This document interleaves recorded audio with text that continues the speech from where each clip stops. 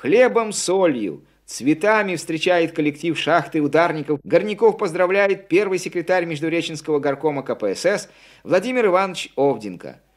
Владимир Григорьевич Девятко и его товарищи умело использовали большие возможности, заложенные в новой отечественной технике – Сами они усовершенствовали некоторые узлы комплекса, модернизировали комбайн. В результате бригаде удалось перекрыть суточную проектную производительность угледобывающего комплекса в два раза и установить всесоюзный рекорд – добыть за сутки более 9 тысяч тонн угля, два тяжеловесных состава.